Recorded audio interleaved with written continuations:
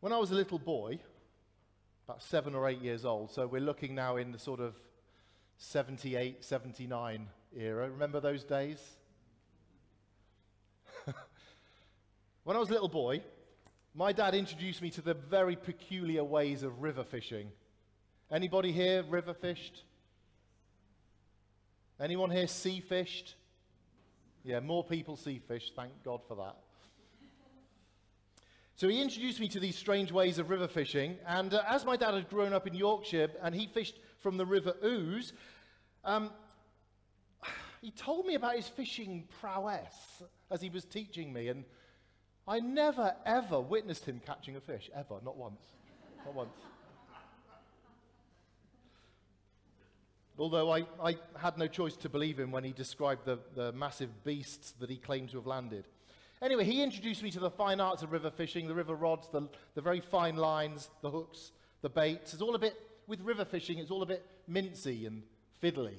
I don't know how, to this day, my dad's sausage fingers were able to tie such delicate knots. It was a mystery to me. But he always emphasized the importance of the right line, the right rod, the right reel, the right type of bait. And he always took a comfy chair or two for me as well and, uh, and a flask of tea. I'm sure there was a flask of something else as well, but I couldn't prove it. But it was particularly memorable when, as a little boy or a little girl, you get to put the bait on the hook, the maggots, or in sea fishing terms, the ragworm. And do you know how to put a ragworm on a hook, anyone? Anyone seen a ragworm? They look like really long, creepy millipedes.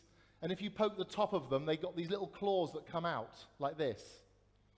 And you have to tap the top so that the claws come out. And when the claw comes out, then you put the hook in. And as the claws go back in, they take the hook with them. Fish eat that, and we eat fish. It's disgusting, isn't it?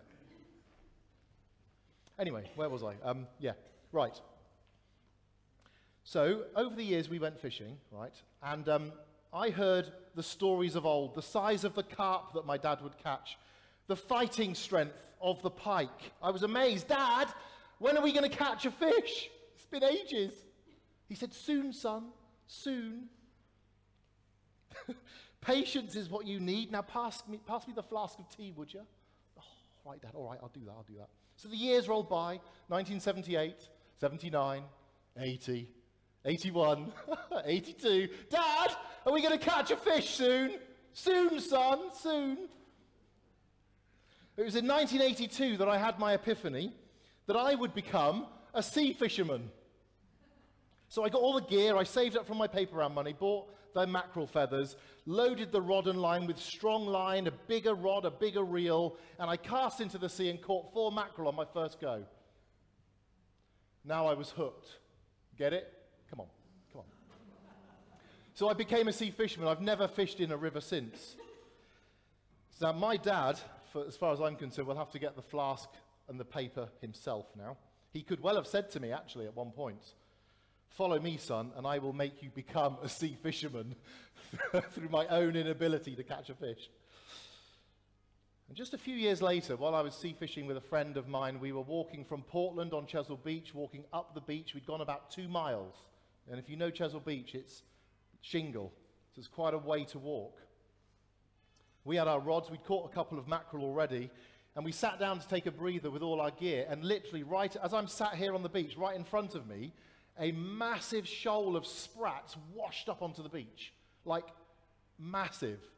It was like, it was like a scene out of a film. It was incredible.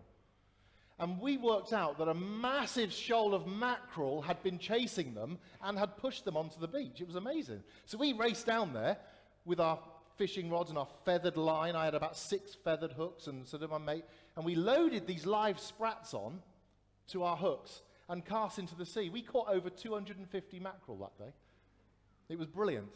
One of the most exhilarating, well, it was the most exhilarating fishing day I've had. In fact, if anyone's still interested, I think, I think my mum might still have some in her freezer if anyone is. She's a very proud mother. so, becoming.